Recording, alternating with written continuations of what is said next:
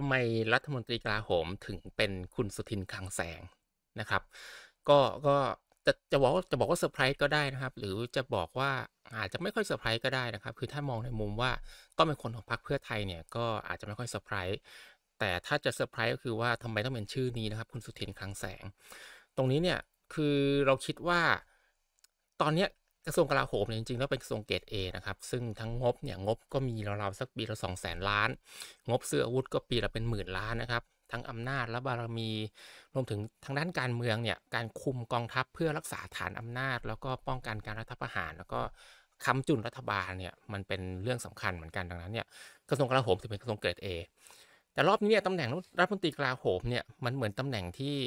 พรรคแกนนำอย่างพรรคเพื่อไทยเนี่ยไม่ค่อยอยากได้ยังไงก็ไม่รู้นะครับ คือเหมือนว่าตอนแรกเนี่ยเขายกให้พลังประชารัฐไปแล้วนะครับ แต่ว่าแต่ละชื่อที่พรรคพลังประชารัฐเสนอมาเนี่ยเหมือนจะไม่ผ่านเพื่อไทยเลยนะครับ ซึ่งลึกๆเนี่ยก็อันนี้ก็ไม่ทราบเหมือนกันว่าทำไม แต่ว่าถ้าลองไล่ชื่อแต่ละชื่อเนี่ยมันดูแล้วเออจริงๆแล้วมันก็น่าจะมีคุณสมบัติที่เหมาะสมนะครับ แต่ว่าสุดท้ายก็ไม่ผ่านนะครับ เช่นพลเอกนัทนะครับ ซึ่งเคยเป็นรองปลัดกลาโหมเเป็นปลัดกลาโหมมาก่อนนะครับ แต่ว่า ยังมีคุณสมบัติที่ไม่ครบตามที่จะเป็นได้นะครับ เพราะว่าพ้นตำแหน่งสสเออสวมาไม่เกิน 2 ปี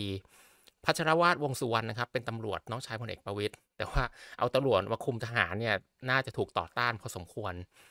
ไปดูพลเอกวิชญ์นะครับพลเอกวิชญ์เออหรือเวิร์บิ๊กน้อยนะครับ ซึ่งอันนี้เป็นสายของพลเอกประวิตรโดยตรงเลย แล้วก็เป็นผู้ช่วยของพลเอกประวิตรมานาน แต่ว่า เหมือนกับว่าเพื่อไทยเขาก็ไม่ได้อยากจะได้นะครับ ซึ่งพอมีปัญหาทางพลังประชารัฐเขาก็คืนตำแหน่งนี้มาให้ แล้วก็เพื่อไทยเนี่ยก็เหมือนจะไปหาตำแหน่งคนนอกนะครับ ไปถามบิ๊กตู่นะครับ ท่านประยุทธ์ ท่านประยุทธ์ก็ส่งคนมานะครับพลเอกนัทพล ซึ่งก็ไปถูกคนเสื้อแดงท้วงติงว่าเนี่ยเคยทำงานให้คอสช แล้วก็น่าจะเคยร่วมควบคุมการสลายชุมนุมของคุณเสื้อแดงนะครับ แล้วก็คิดว่าเพื่อไทยก็คงไม่อยากจะขัด เขาเรียกว่าไงอะ ไม่อยากขัดใจคนเสื้อแดงไปมากกว่านี้ มาดูในพักเพื่อไทยเองเนี่ยพลเอกก็มีอยู่คนเดียวนะครับที่เป็นสสคือพลเอกพิสารนะครับ อดีตแม่ทัพภาคที่ 4 แต่ว่าท่านก็ติดปัญหาก็คือว่าท่านเคยคุมทหารสลายการชุมนุมที่ตากใบนะครับ ดังนั้นมันก็มีปัญหาพลเอกนิพัฒน์เคยเสนอตัวเองนะครับ แต่ก็พลเอกนิพัฒน์ก็ถือว่าเป็นวงค่อนข้างเป็นวงนอกนะครับ ไม่ใช่วงในขนาดนั้น คิดว่ารอบนี้น่าจะเป็นเรื่องของให้คนวงในนะครับเพราะมันก็ 9 ปีละดังนั้นเนี่ยมันก็เลยมาจบที่คุณสุทิน คุณสุทินคังแสงเนี่ยจริง ๆ แล้วเนี่ยก็อยู่กับเพื่อไทยมานานนะครับ ซึ่งคุณสุทินแกเป็นวิปมาทั้งวิปฝ่ายรัฐบาล แล้วก็วิปฝ่ายค้านเรื่องฝีมือการประสานงานเรื่องอะไรพวกนี้ก็ค่อนข้างมีนะครับ จริง ๆ แล้วเนี่ยถ้ามันดูตรงนี้เนี่ยเชื่อลึกๆว่าเพื่อไทยเนี่ย คงไม่ได้อยากจะได้กลาโหม แล้วก็ถ้าแลกได้เนี่ยลองเลือกดูนะครับ ระหว่างกลาโหมกับเกษตรเนี่ยให้เลือก 10 ครั้งเชื่อว่าเพื่อไทยเนี่ยเลือกเกษตรไปก่อนแน่นอน เพราะว่าเกษตรกรเป็นฐานเสียงหลักของเพื่อไทยเขานะครับ แต่ว่าพักร่วมอย่างพลังประชารัฐมาเนี่ยเขาก็ต่อรองกันทั้งแพงนะครับ แล้วก็ไปมาก็ต้องให้เขาเพราะว่าในเมื่อกลาโหมเขาเสนอมาทางเพื่อไทยไม่เอานะครับเขาต่อรองเป็นเกษตรมาแล้วก็คุณธรรมนัฐต้องการนั่งเกษตรด้วย มันก็เลยต้องให้เขาพอเพื่อไทยอยากได้สาธารณสุขกับคมนาคมเนี่ย ภูมิชัยไทยก็ต่อรองเหมือนกันครับ ก็มีราคาแพงเหมือนกัน ก็เลยต้องให้มหาไทยกับศึกษา ซึ่งมหาไทยเนี่ยจริง ๆ ก็น่าแปลกนะครับ ปกติพรรคแกนนำจะต้องเก็บมหาไทยเอาไว้ เพราะว่ามีผลนะครับเรื่องการจัดแถวข้าราชการท้องถิ่นกำลังผู้ใหญ่บ้านนะครับ เพื่อรักษาฐานเสียงแล้วก็เพื่อให้มีอิทธิพลกับการเมืองท้องถิ่นซึ่งสถานการณ์แบบนี้พอดูไปดูมาเนี่ยจริง ๆ แล้วเนี่ย ทางออกที่ดีที่สุดก็คือให้นายกควบนะครับควบกลาโหม แต่ว่าท่านเศรษฐานะครับท่านเศรษฐาเนี่ยต้องการควบคลังไปแล้วดังนั้นควบกลาโหมไม่ได้อีกนะครับ ก็สุดท้ายก็คือมองไปมองมาก็คือจบที่คุณสุทินคลังแสงนะครับ ซึ่งตอนแรกเนี่ยมีข่าวว่าจะไปคุมศึกษานะครับ แต่ว่าพอภูมิใจไทยได้ไปเนี่ยก็ไปให้คุมวัฒนธรรม แต่พอมันแบบนี้เนี่ยก็เลย ได้เป็นกลาโหมแทนนะครับ ก็เป็นท่านรัฐมนตรีกลาโหมคนแรกนะครับที่เป็นพลเรือนและไม่ได้เป็นนายกรัฐมนตรีนะฮะเพราะว่าแต่ก่อนเนี่ยเป็นนายกรัฐมนตรีแล้วก็ควบนะครับ อย่างคุณยิ่งลักษณ์คุณชวน หรือว่าคุณสมชายวงสวัสดิ์อะไรมาที่เป็นต้นนะครับ คือคุณสุทินเนี่ยเป็นลูกมอบเพื่อไทยมานานนะครับ ก็ทำงานวิบรับใช้ใกล้ชิดนะครับ แต่ว่าแกก็ไม่ค่อยได้ขึ้นมีตำแหน่งในรัฐบาลมากเท่าไหร่นะครับ ตอนนี้ก็คิดว่าก็น่าจะถึงคิวของแกแล้วแล้วก็ถึงเวลาแล้วนะครับ เพราะแถวมันก็สั้นลงด้วยนะครับ เพราะว่าคนเพื่อไทยเนี่ยออกไปเยอะในช่วงหลายปีที่ผ่านมา แล้วก็มันก็ต้องถึงเวลาแล้วแหละนะฮะเรื่องความเชี่ยวชาญเนี่ยอันนี้ต้องพาตามตรงก็คือว่าเราคิดว่าคุณสุทินก็ไม่น่าจะเชี่ยวชาญด้านกลาโหมนะครับ เพราะว่าถ้าดูในประวัติการทำงานแกเนี่ยแกก็ไม่ได้มีประวัติทำงานด้านนี้เท่าไหร่นะครับไม่แต่ในสภาเพราะว่าในสภาแกก็เป็นกรรมธิการการศึกษาหรือกรรมธิการกฎหมายมาก่อนนะครับ ไม่ได้ ไม่ถ้าจำไม่ผิดนะครับ ไม่ไม่เคยเป็นกรรมธิการทหารเลยนะครับ อันนี้ถ้าจำผิดขออภัยนะครับ แต่ว่าเรื่องความเป็นพลเรือนเนี่ยจริงๆผมคิดว่าโอเคนะครับไม่ไม่ได้มีปัญหาคือเป็นพลเรือนได้แล้วมาคุมทหาร จริง ๆ เป็นแนวคิดที่ถูกต้องแล้วนะครับพลเรือนเนี่ยควรต้องคุมทหาร ทหารต้องคุ้นเคยกับการที่มีผู้บังคับบัญชาเป็นพลเรือนนะครับ เพราะว่าจริงๆเนี่ยโดยทฤษฎีและโดยหลักการที่ถูกต้องเนี่ยเจ้านายของทหารเนี่ยก็คือต้องเป็นประชาชนอย่างพวกเรานะครับ ซึ่งก็คือพลเรือนเนี่ยส่งมาคุมนะฮะ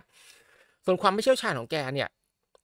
แรกแรกมาด้วยทักษะการปณีประนอมนะฮะคือคนเป็นวิปมาก่อนเนี่ยชื่อก็บอกแล้วนะครับวิปเนี่ยมันต้องประสานงานต้องช่วยจัดแถวในการรวบรวมเสียงต่อรองในการโหวตนะครับ ดังนั้นเนี่ยทักษะการประสานงาน แล้วก็ทักษะการปราณีประนอมเนี่ยคิดว่าแกมีค่อนข้างสูง ถ้าคิดในแง่นี้เนี่ยแกก็คงจะมาคุยกับทหารได้นะครับ อย่างน้อยนับ รับนโยบายของพรรคมาปฏิบัตินะครับ โดยเฉพาะเรื่องยกเลิกเกณฑ์ทหารนะครับ ซึ่งอันเนี้ยเป็นนโยบายที่พรรคเพื่อไทยเนี่ยค่อนข้างใช้เยอะในการหาเสียงนะครับ ถ้าถ้าถ้าไม่ใช่เป็นการเทคนิคการหาเสียงอีกรอบนะครับ ถ้าพรรคเพื่อไทยจะทำจริง ๆ ครับ ซึ่งซึ่งควรทำนะครับการยกเลิกเกณฑ์ทหารเนี่ยคุณสุทินก็น่าจะมีขีดความสามารถในการประสานงาน แล้วก็ปณีประนอมให้กับกองทัพนะครับ ไม่ตึงจนเกินไปหรือว่าน่าจะพอคุยได้นะครับ แล้วก็ เรื่องอื่นเนี่ยก็น่าจะปล่อยกันไปนะครับให้ทหารว่ากันไปนะครับ ซึ่ง